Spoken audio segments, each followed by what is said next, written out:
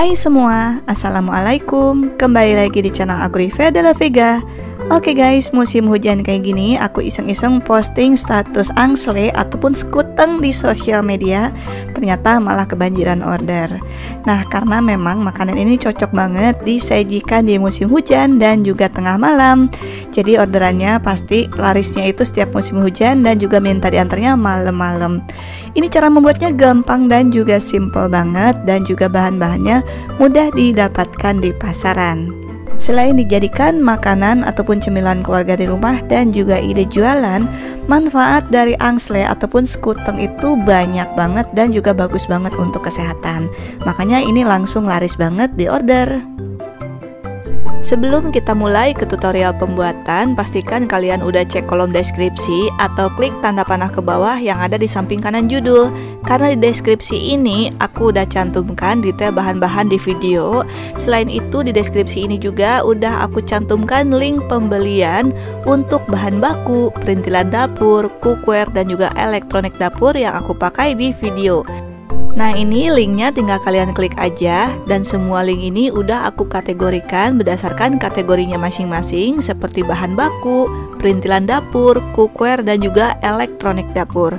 By the way, ini bukan aku yang jualan ya, tapi ini merupakan toko yang aku rekomendasikan ataupun toko yang pernah aku beli untuk membeli semua kebutuhan di video. Khusus untuk produk Mito Elektronik dan Stain Cookware, pastikan kalian beli di link yang udah aku cantumkan di sini karena ini merupakan link toko resminya Stain Cookware dan juga Mito Elektronik yang asli ataupun yang resmi supaya kalian mendapatkan jaminan produk yang original.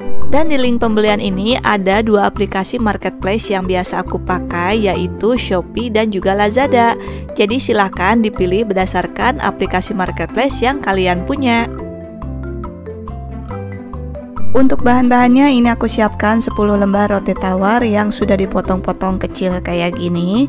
Kemudian 100 gram sagu mutiara, 150 gram kacang hijau, dan 250 gram kacang tanah yang sudah disangrai. Langkah pertama kita rebus dulu sagu mutiara dan juga kacang hijaunya ke dalam air yang sudah mendidih dan kita gunakan metode 5, 30 dan 7 menit yang tujuannya untuk menghemat gas. Dan untuk memasaknya ini aku gunakan dua saucepan. Yang pertama saucepan Onyx series dan juga saucepan Glow Pan series. Untuk panci yang Onyx series ini terbuat dari granit, sedangkan yang Glow Pen series terbuat dari marble. Dan keduanya sama-sama Greblon coating dari Jerman yang dijamin super duper anti lengket. Nah, kalau udah direbus selama 5 menit, langsung aja kita matikan api kompornya. Diaduk dulu sebentar, kemudian ditutup dan diamkan selama 30 menit. Setelah didiamkan selama 30 menit, ini sagu mutiara dan juga kacang hijaunya belum matang tapi sudah mengembang. Nah, kalau udah kayak gini, kita aduk dulu sebentar. Setelah itu, kita rebus lagi selama 7 menit.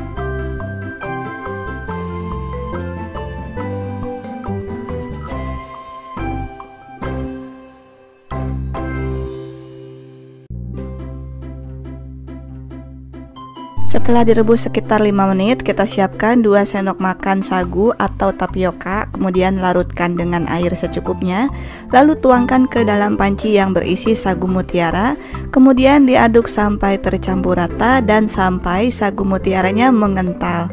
Kalau sagu mutiaranya udah mengental, langsung aja kita matikan api kompornya. Sedangkan untuk kacang hijau jangan dimasak sampai kacang hijaunya pecah semua. Jadi kalau udah ada yang pecah-pecah sebagian kayak gini, langsung aja kita matikan api kompornya karena ciri-ciri angsle ataupun skuteng itu kacang hijaunya masih utuh, gak seperti bubur kacang hijau yang kacang hijaunya itu pecah semua. Nah, kalau kacang hijaunya udah empuk tapi belum pecah, langsung aja kita angkat dan tiriskan kayak gini. Langkah berikutnya untuk membuat susu jahe, ini aku siapkan 250 gram jahe biasa. Kalau mau pakai jahe merah cukup 100 gram aja. Kemudian 250 gram gula pasir, satu kaleng susu kental manis boleh pakai merek apa aja, dan 3 liter air. Oke langsung aja semua jahenya kita masukin ke dalam gelas chopper Karena akan kita haluskan pakai chopper andalan aku dari Mitochiba seri CH200 Yang aku fungsikan sebagai blender. Nah berbeda dengan blender Kalau blender itu untuk menghaluskan bahan makanan harus menggunakan air Supaya bahan makanannya bisa halus sempurna. Sedangkan kalau chopper tidak perlu ditambahkan air pun bahan makanannya bisa halus sempurna. Dan kalau pakai chopper Mitochiba ini cukup dengan hitungan detik aja bahan makanannya bisa langsung halus seperti ini. Oke, setelah dihaluskan langsung aja jahenya kita tuangkan ke dalam panci.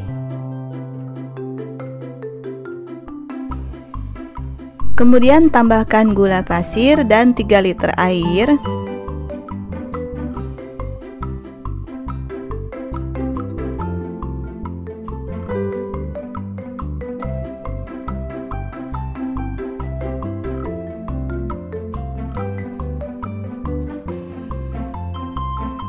Setelah itu aduk sampai tercampur rata dan masak sampai mendidih. Untuk memasaknya ini aku gunakan diamond casserole diameter 24 cm dari stain cookware dengan 7 lapisan granit carbon coating dari Jerman yang dijamin super duper anti lengket juga merupakan kualitas granit terbaik di kelasnya. Kapasitas 4 liter dan bisa digunakan di kompor induksi atau kompor listrik maupun di kompor gas biasa seperti ini.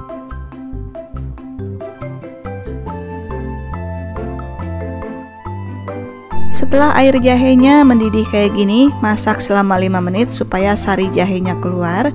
Kemudian kalau udah dimasak selama 5 menit, baru kita tambahkan susu kental manis satu kaleng.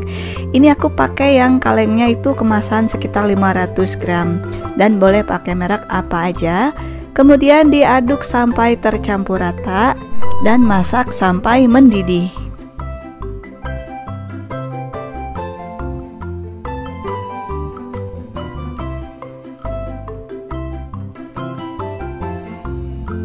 Oke, kalau susu jahenya udah mendidih kayak gini, jangan dimasak terlalu lama supaya susunya tidak pecah. Jadi langsung aja kita matikan api kompornya dan diaduk-aduk dulu sebentar.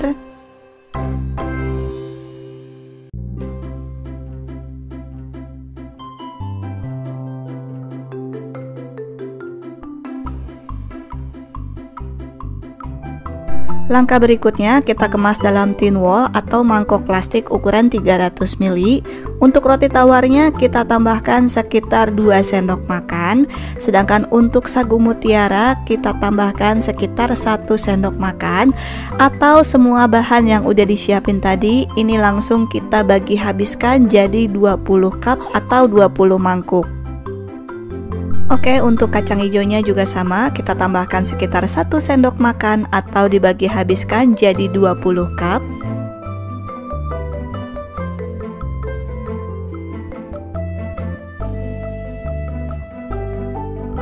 Dan untuk kacang tanahnya juga sama ya, ini kita tambahkan sekitar 1 sendok makan atau sesuai aja dengan orderan si pembeli. Karena ada pembeli yang gak suka pakai kacang tanah. Dan ini dia hasilnya, kalau semua bahan pelengkapnya sudah dikemas dalam cup. Kalau udah kayak gini bisa langsung disiram air susu jahe ataupun air susu jahenya bisa dipisah. Jadi kalau dipisah, ini langsung aja kita tutup rapat.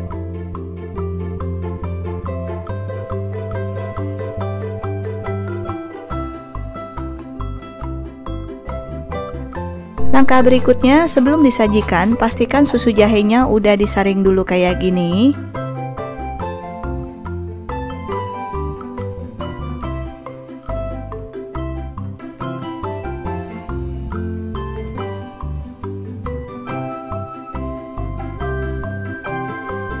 Setelah itu langsung aja kita kemas susu jahe tadi ke dalam plastik ukuran 7 x 20 cm Dituangkan sekitar 150 ml kemudian diikat kuat Oke, sekarang bisa kalian lihat ya untuk takaran 150 ml susu jahe yang dikemas dalam plastik ukuran 7 x 20 cm. Setelah dituangkan, ini pas banget dengan ukuran cup 300 ml beserta dengan pelengkap angsle ataupun sekutengnya. Oke, kalau susu jahenya udah dikemas plastik semua, langsung aja kita pasangin sama pelengkap angsle atau sekutengnya. Kemudian kita kemas dan siap dikirim. Untuk harga jualnya angsle ataupun sekuteng ini satu cupnya bisa dijual dengan harga Rp10.000 atau silakan disesuaikan sendiri untuk harga jualnya dengan harga bahan baku di daerah setempat. Sedangkan untuk masa ketahanannya, angsle atau sekuteng ini bisa tahan satu hari di suhu ruangan.